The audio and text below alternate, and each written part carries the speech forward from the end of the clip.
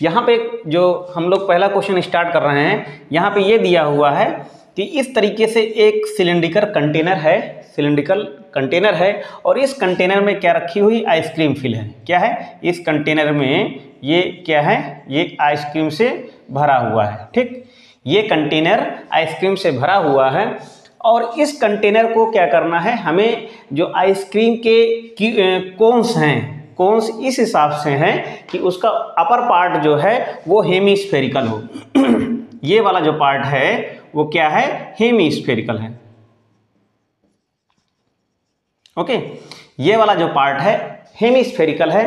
तो हमें ये बताना है कि इस तरीके के जो कोन्स होंगे आइसक्रीम के, जिस जिसका अपर पार्ट हेमिस्फेरिकल है, वो कितने यहाँ पे हमें क्वेश्चन फाइंड आउट करना है। How many how many cones